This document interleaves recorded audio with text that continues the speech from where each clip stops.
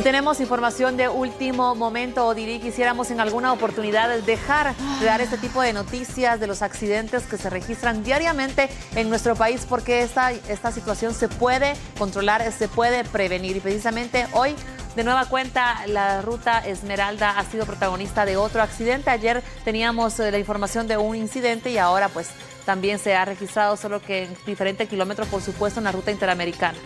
Así es, ayer hablábamos de lo que había sucedido cuando esta unidad cayó a una hondonada en el kilómetro 64 de la CA2 suroccidente y de nueva cuenta hoy hay un incidente protagonizado justamente por otra unidad de estas rutas Esmeralda, ahora en el kilómetro 195 de la autopista Los Altos en Quetzaltenango, justamente en el occidente del país. Así que por ello nuestra compañera Beatriz Guillén se desplazó para que las autoridades de Provial nos den recomendaciones y hasta este momento todo lo que ellos han evaluado sobre lo que está sucediendo y es que diariamente eh, vemos cómo la información justamente se va enfocada al tema de los incidentes automovilísticos protagonizados por diferentes unidades de buses urbanos y extraurbanos. Así que adelante, ¿cómo estás? Muy buenos días para ti, Beatriz. Adelante. Muy buenos días, Claudia y Odilí. Efectivamente, como lo han dado a conocer, es lamentable que tengan que registrarse este tipo de hechos. Y bueno, vemos casi que es a diario, como ustedes ya lo indicaban. El día de ayer se registró uno y este día se registró otro. Ya lo indicaba ayer el licenciado Edgar Guerra de la Procuraduría eh, de la PDH, eh, que es recurrente el tema de los accidentes con las rutas Esmeralda y es por ello que nos hemos acercado a Provial para que nos den a conocer cuáles serán las acciones que se estarán implementando, sobre todo en esta temporada de lluvias, que se incrementa el registro de estos percances viales. Nos acompaña Juan Carlos Aquino, portavoz de esta institución. Juan Carlos, buenos días. Sí, buenos días Betty, buenos días a todos los televidentes de TN23. Es un gusto tenerlos acá y poder ver la problemática que está surgiendo con respecto al transporte extraurbano. Como bien lo decías, el día de ayer se cubrió un accidente en el kilómetro 64 de la ruta CA2 Occidente y precisamente fue un bus Esmeralda el que se vio involucrado en este percance que dejó como saldo dos personas heridas. De esa cuenta estamos trabajando ya en armar los operativos para el control y reducción de velocidad de este tipo de transporte. Recordemos que en la ruta al Pacífico y la ruta al Atlántico es donde más accidentes viales ocurren. De esa cuenta estamos, vamos a incrementar la vigilancia tanto en la ruta al Pacífico como en el Atlántico, ya con presencia de personal de la Dirección General de Transportes y Provial para reducir los accidentes que han dejado varias personas heridas en estos últimos días. Carlos, ustedes tienen la potestad de poderles dar una multa o realizar algún tipo de acción aparte de los operativos que se realizan. Nosotros hacemos operativos directamente de prevención. ¿Por qué?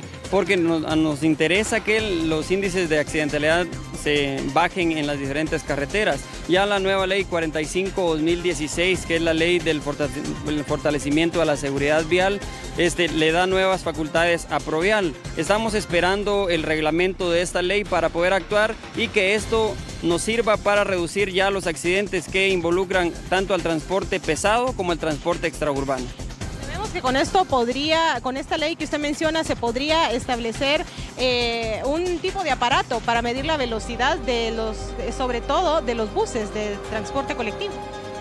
Algo importante de esta ley es que obliga al transportista o al dueño de estos buses a instalar un dispositivo reductor de velocidad, ya sea en la caja, ya sea en la bomba de gasolina, y este dispositivo no permitirá que los vehículos, tanto el transporte pesado como extraurbano, circulen a más de 80 kilómetros por hora. Y esa es una velocidad adecuada en la cual los vehículos pueden reaccionar o que los accidentes no sean graves gracias, Juan Carlos. Bueno, compañeras, hemos escuchado importante información en relación a las acciones que se estará implementando por parte de Provial, sobre todo en esta época de invierno o temporada de lluvias que se está dando en nuestro país.